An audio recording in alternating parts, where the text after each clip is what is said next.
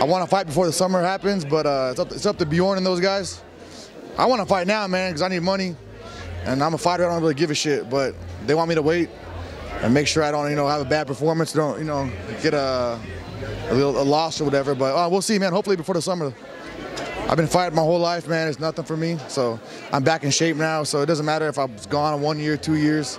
I'm uh, I'm good. I'm, I'm ready to go, man. I'll be the same. Yeah, man. Hey, thanks for the support, man. I appreciate it. All you guys have been with me through all the thick and thin, man. I'll be back, and I look forward to putting on good fights for you guys.